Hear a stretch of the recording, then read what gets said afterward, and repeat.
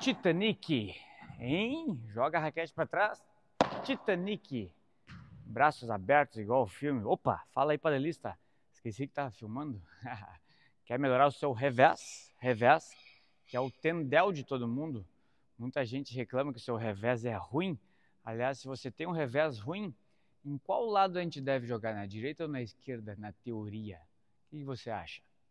Fica comigo nesse vídeo até o fim que eu vou te responder essa pergunta e te mostrar aqui quatro coisas que você deve lembrar na hora de bater de revés. Legal? Roda a vinheta aí e bora pro play!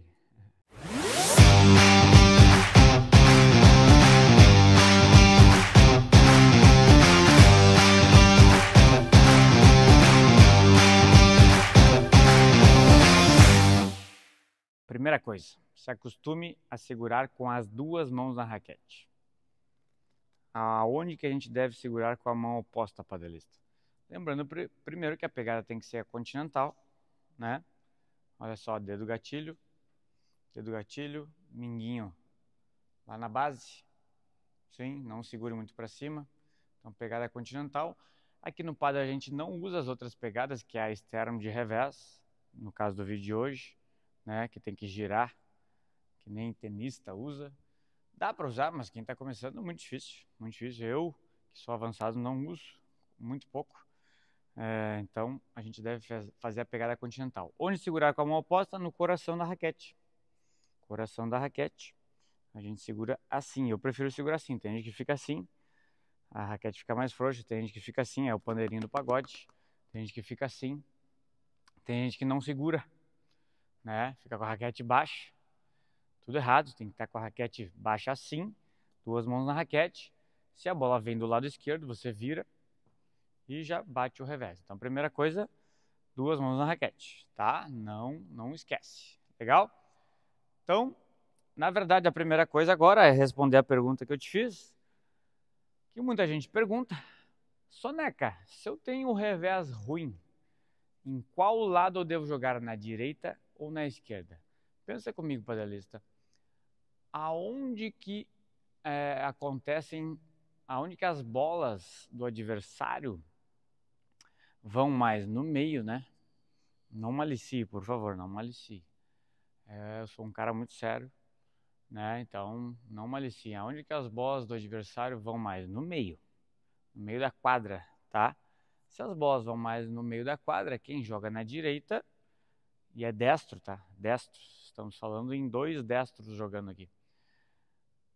Se as bolas vão mais no meio da quadra, eu que jogo na direita bato mais de revés ou de drive? De revés, sim. Se eu jogo na esquerda, mais de drive. Então quem tem um revés pior deve jogar na direita ou na esquerda? Na esquerda. Ok? Isso na teoria.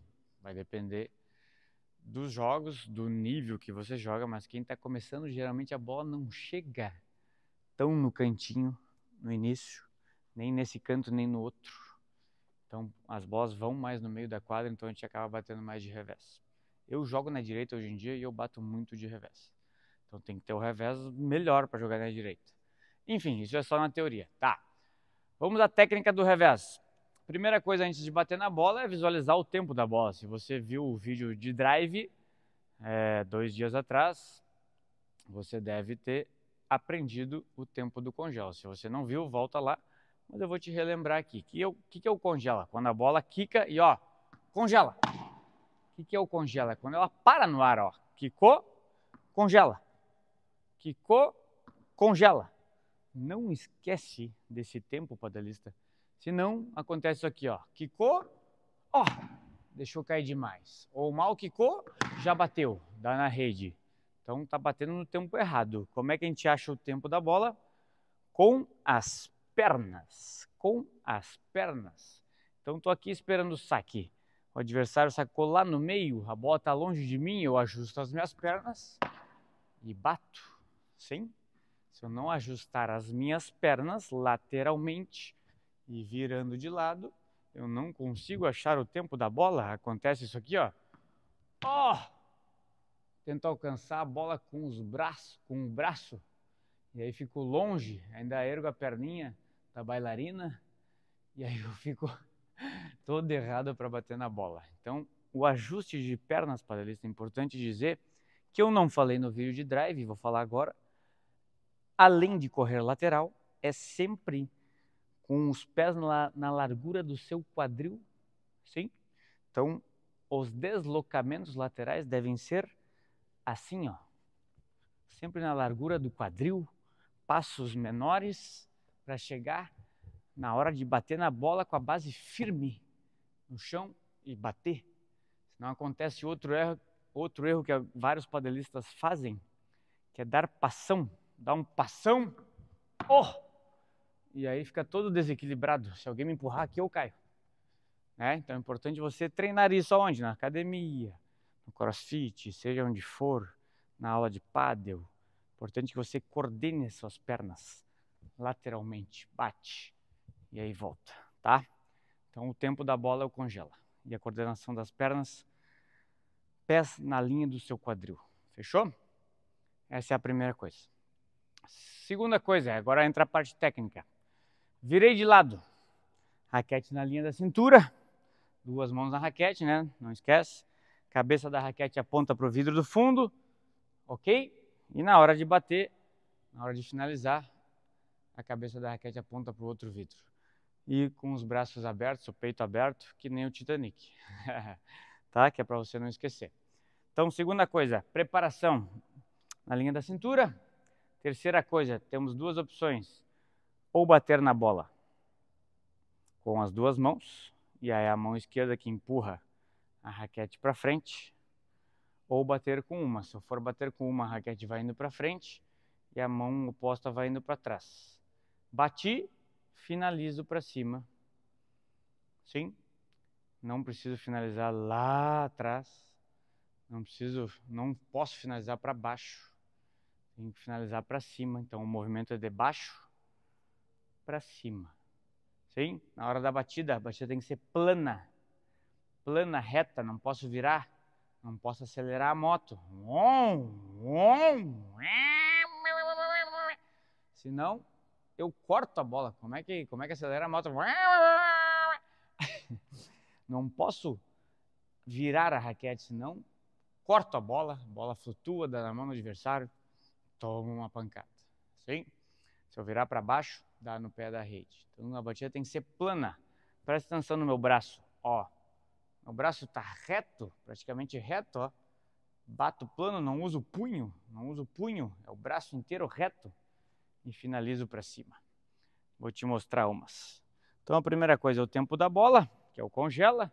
Segunda coisa, segunda, terceira e quarta coisa do vídeo é a parte técnica. Segunda coisa, a preparação na linha da cintura, na linha do bolso.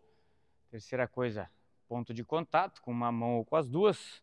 Quarta coisa, finalização para cima. Bati. Congela. Sim, dobra os joelhos um pouquinho. Congela. O meu revés é melhor que o meu drive. Meu drive é ruim. Tenho que treinar mais. Aliás, eu que sou avançado tenho que treinar. Imagina quem está começando, né? E é normal. A gente tem que estar tá sempre treinando drive e revés, que é o básico. Que é como começa o jogo. O jogo começa a gente batendo uma bola de drive para responder o saque ou de revés tem que estar tá bom, é, aliás, a recepção de saque. Se você quiser que eu faça um vídeo sobre a recepção de saque, deixe seu comentário aqui no vídeo, porque é muito importante você começar com uma recepção de saque boa, né, para não dar chance do adversário fazer um bom primeiro voleio ou um smash, enfim. Senão você provavelmente vai perder o ponto. Tá bom? Então, é isso. E como direcionar, né? No vídeo de drive eu falei como direcionar a bola. No caso, eu que estou jogando na direita aqui, se eu quero direcionar a bola na diagonal, aonde que a bola tem que estar, padelista? Mais atrás de você, na linha do pé da frente ou mais para frente? Time para você responder. Responde aí. Já respondeu?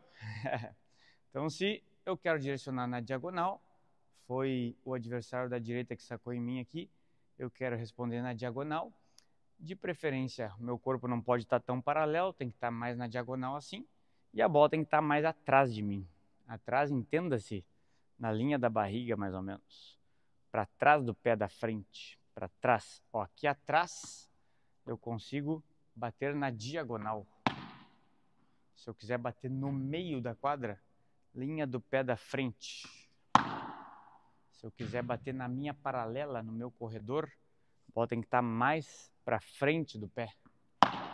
Ela vai na diagonal. Na diagonal, na paralela. Ok?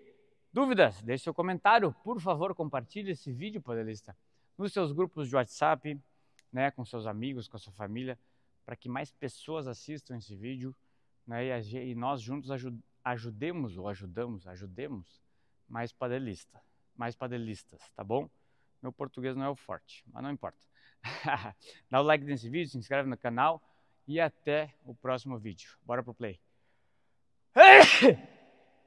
Perdão, bora pro play. Tchau, tchau.